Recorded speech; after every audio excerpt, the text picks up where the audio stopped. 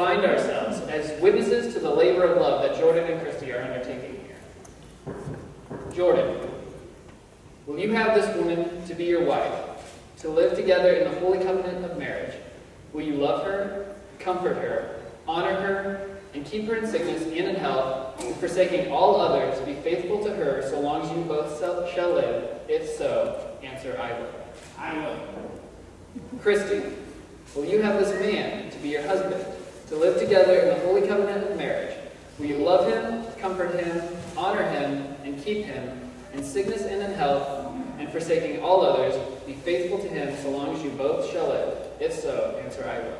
I will. You may be seated.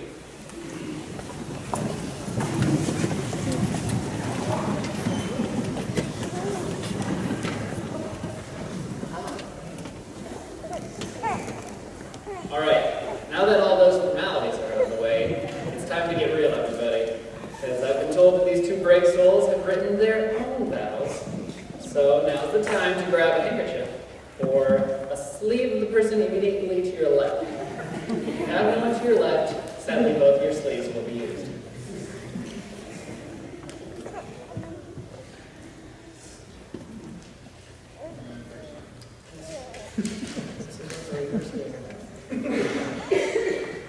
I have, wow.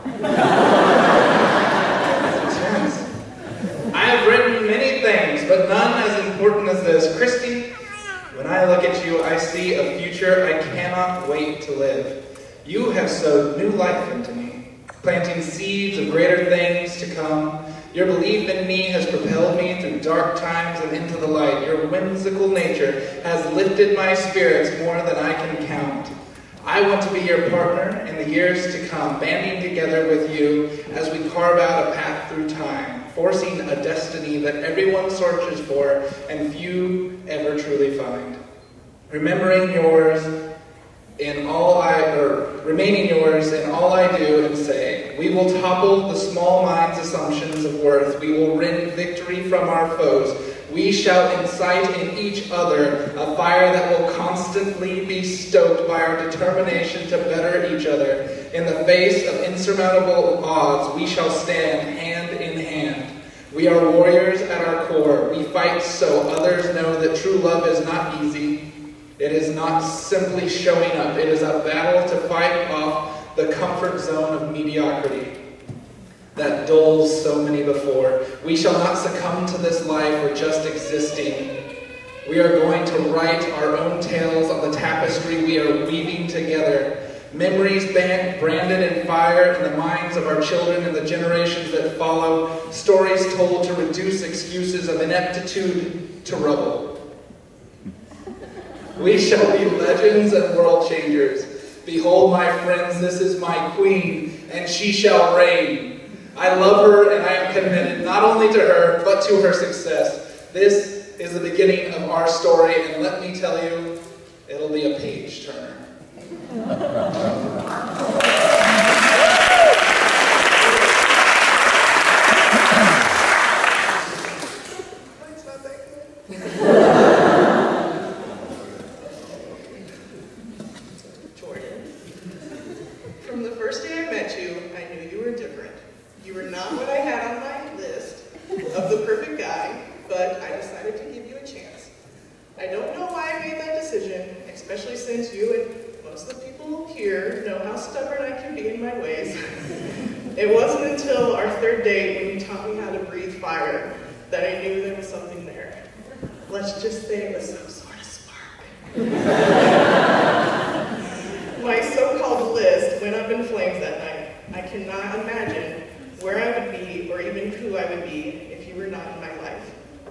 You were and still are the best decision I have ever made in my life.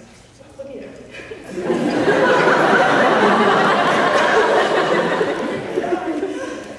Every day with you has been a great adventure with so many more to come. You broke down my walls and helped me realize my true potential as a person and as a companion. You never pushed me to do anything I didn't want to do, but yet pushed me to step out of my comfort zone. For that, I cannot thank you enough. I am so excited for our future together and what it holds for us. Today, surrounded by people who love us, I choose you, Jordan, to be my husband. I am proud and blessed to be your wife and to join my life with yours. As I gave you my hand to hold, I now give you my, give you my life to keep. I take you for the love you hold in your heart and vow to spend each day loving you for who you are and who you are yet to become. I promise to always be your biggest fan and your partner in crime. I promise to create and support a family with you in a household filled with laughter, patience, understanding, openness, love, and of course, fart contest. I promise to attempt to understand your superhero shows, even if I have no idea what you're talking about, because I love your smile and excitement when a new show or movie promise to let you experiment with cooking, even if my OCD wants to jump in. I promise to not nag you as much about your sometimes careless old lady driving. I promise to be patient with you and never go to bed angry, even if it takes me until right before we go to sleep to get the words out. I promise to always kiss you goodnight and good morning. I will always hold your hand because when you hold mine, my nerves calm, I sleep better, and though not all may be right with the world, all is right with us. Jordan, from this day forward, I pledge my everlasting love and commitment to you. You are the moon of my life, my sun and stars. I am yours, and you are mine, from this day to the end of my days.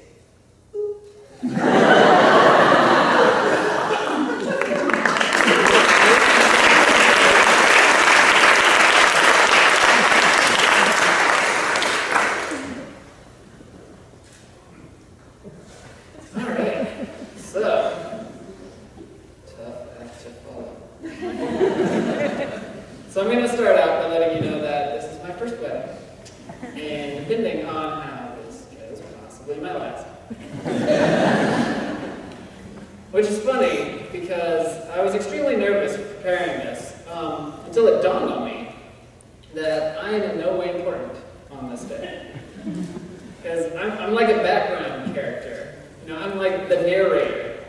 And the important characters are standing in front of me. And no matter what I say or do, the outcome of today is the same regardless. These two are getting married. And nothing's going to stop them. And even if something tried to, it wouldn't be allowed. Because this story is too important. Because we're in a great story. A tale. An epic. There are many great characters parents, mentors, friends, allies, probably some enemies, a couple monsters, and many more. But as the pages continue to turn, they're shown to only be side characters in this epic love story that's been playing out for years. Joseph Campbell came up with a theory that all heroes in classic through modern literature and storytelling are technically the same character. It's called The Hero with a Thousand Faces. He claims that when you strip a story down and take away all the little things and it comes down to the bare bones, that it proves that it's the exact same story every time with only minor differences. Now, Joseph Campbell was a smart man and he made some good points. But I feel like those little things that are stripped away are the most important parts. You know, a kiss on New Year's Eve, previous meetings at a plasma clinic. Marathons, both of the running and Netflix variety. Trips across the U.S. An important, or an apartment filled with love. And cats. and, and claws. Like, for real. That, their cats have claws. I, I know they really just want to play, but it, it hurts sometimes. But, sorry, I got sidetracked a little bit. A beautiful night when the sky is filled with stars. A desire, nay, a need, to run back into the house. Wish upon those stars. A ring. Two long years, and now we find ourselves here. Not a conclusion to the story, but simply an incredibly engaging chapter. A real page turner, you might say that will lead on to the next adventure. And from there, who knows where the story will lead. You see, Campbell might make it sound like every story is the same, but some are, simply put, better than others. And I'm so incredibly happy to be a part of this one, even if I am just a side character, because it's better to make an appearance in what will inevitably go down in history as one of the greatest love stories of our generation.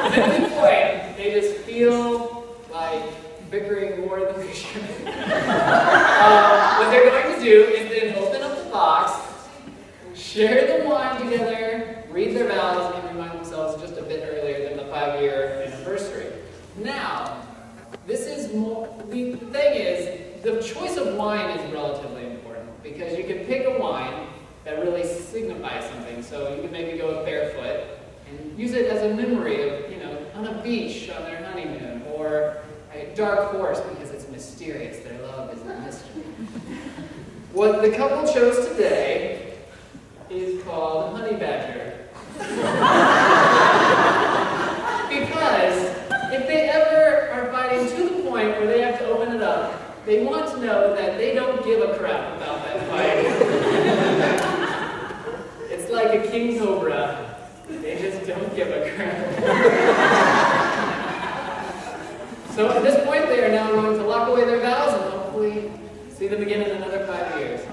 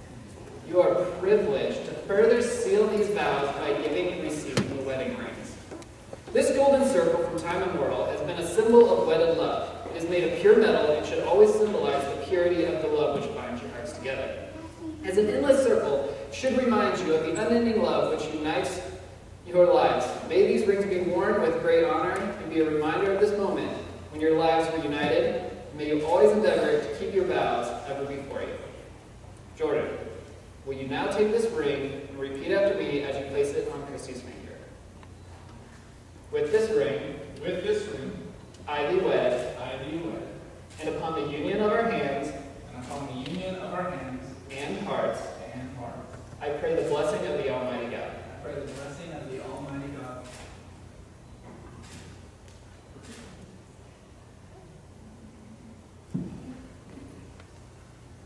Christy, will you now take this ring and repeat after me as you place it on Jordan's hand?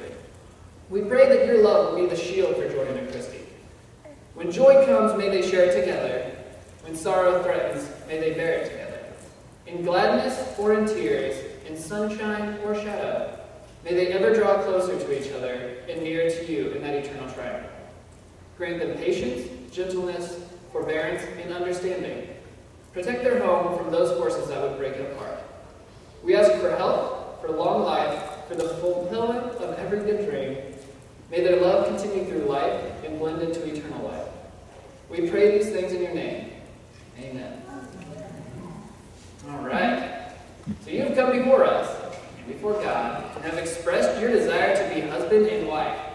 You have shown your love and affection by joining hands and have made promises of faith and devotion, and have sealed these promises by the giving and receiving of rings. I therefore pronounce that you are husband and wife. May God bless you and keep you and give you his peace. When God has joined together, let no man separate. Jordan, you may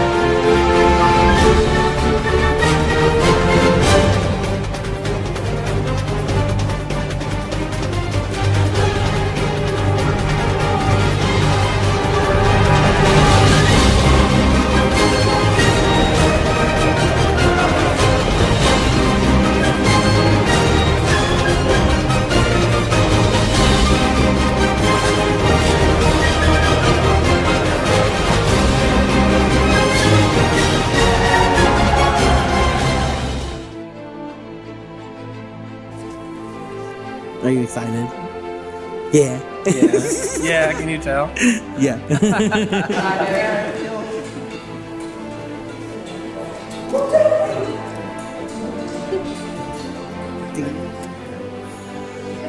That would have been one of those early down.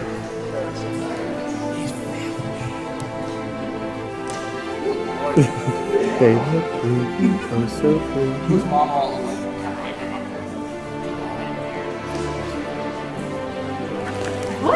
Wait, are you gonna fall again? Covered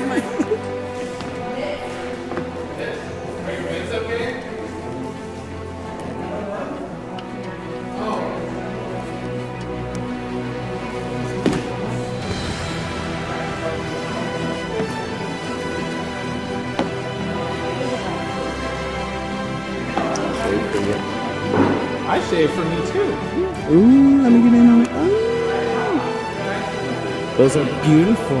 Huh? A. Pew pew pew pew pew. The couple really gets a kick out of farting in front of each other. and they were worried about me saying poop during the wedding. And I wasn't allowed to say during the wedding ceremony. It said, uh, when Jordan was about to propose, Christy told him she had to poop and ran away. It's right there.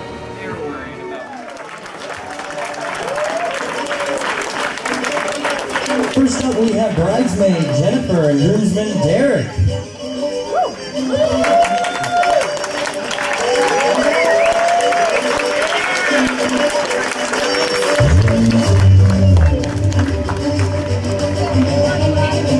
Bridesman Zach and groomswoman Crystal.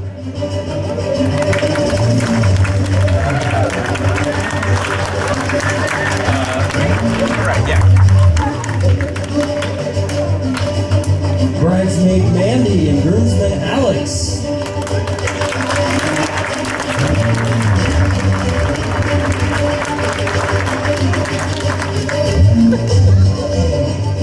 Maid of Honor Abby and best man CJ.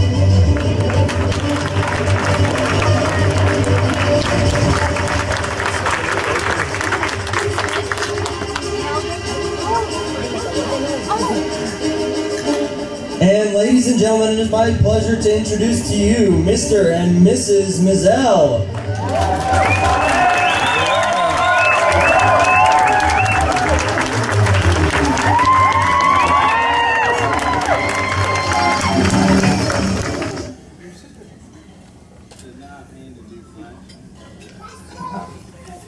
Jordan and Christy, who's toast.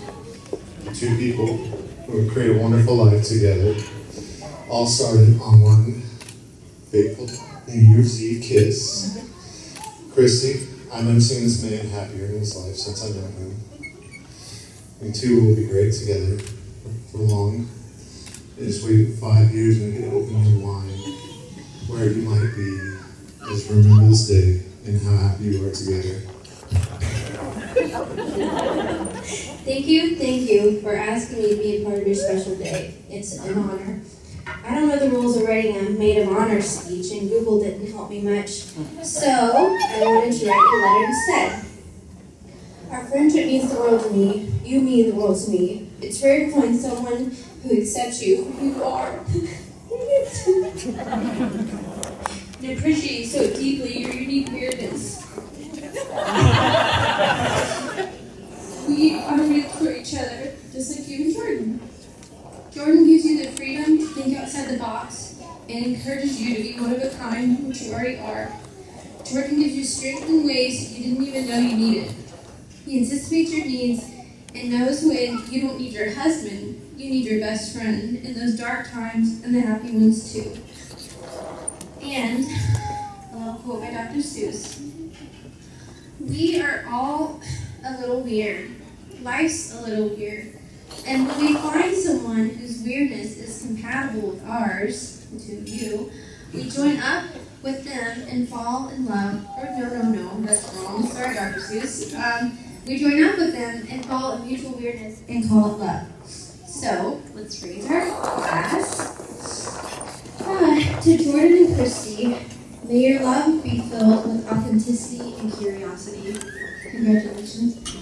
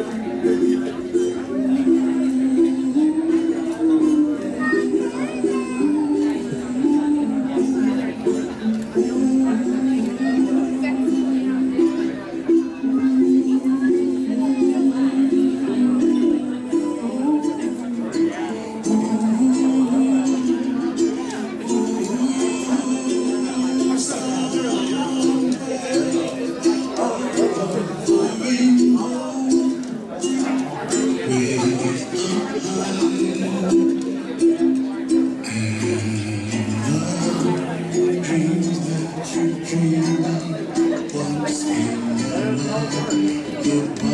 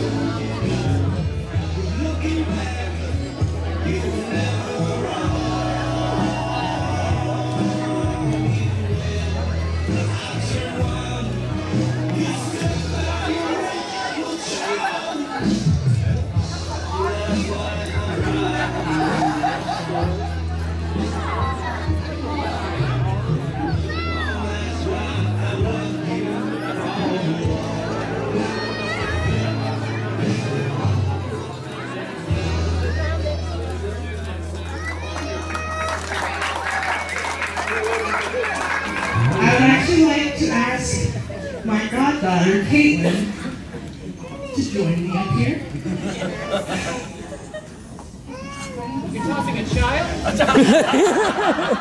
Don't toss her far, you'll be right. Um, I wrote a letter for you, and then I have something to give you. Okay?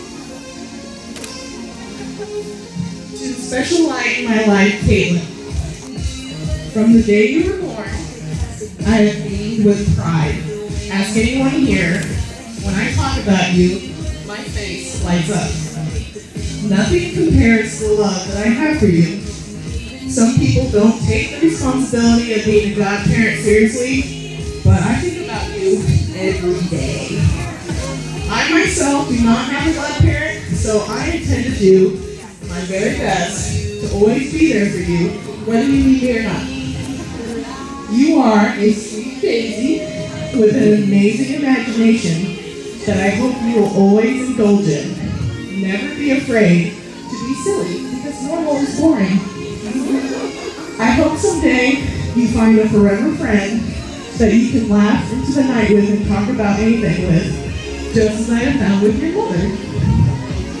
You better believe that you will learn a lot from me. I plan on teaching you about marching band,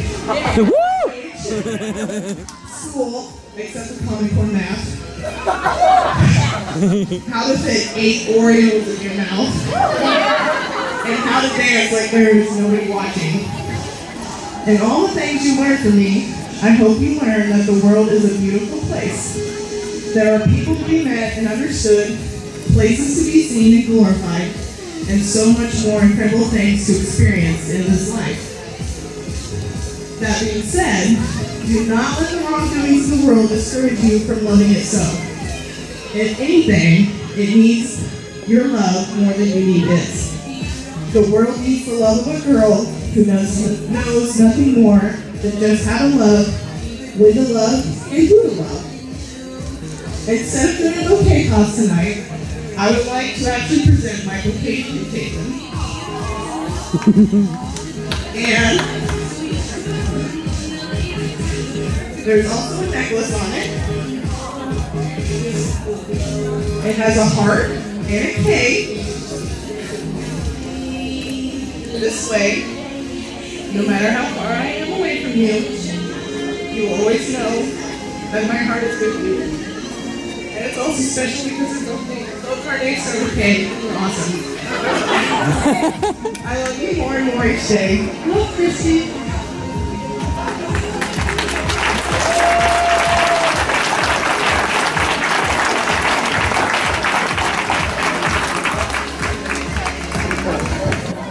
Alright, ladies and gentlemen, I don't know if you guys know how this works, but this is called the shoe game. I will ask a series of questions, and whichever one they think is themselves or their partners, they will raise that shoe. For example, the first question is who's better at keeping surprises? Say, it's not a big question. Who will do most of the cooking? Who said I love you first? I see a pattern here. Who will be in control of the remote?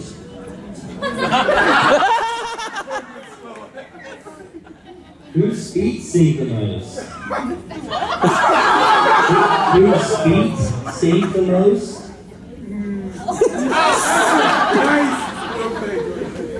Who is more likely to drop their phone in the toilet? Who is more likely to get lost? Who will deal with the spiders? Who is right most of the time? Who is neater or more organized? More organized? Organized. Who wears the pants in a relationship? Who's the bigger flirt? Who dances better? Who was the most nervous about the big day? Who spends the most time in the bathroom? Who's the first to fall asleep at night? Who farts the loudest?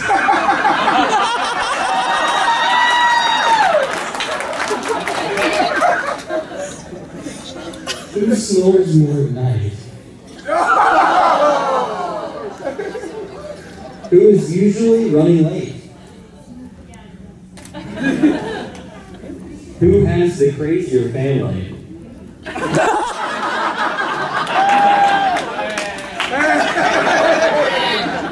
Who tells the best jokes? Who is more stubborn? Who typically drives? Who makes better animal noises? Who will most likely survive a zombie apocalypse? And lastly, who you love more than anyone else on this earth? Ladies and gentlemen, that is the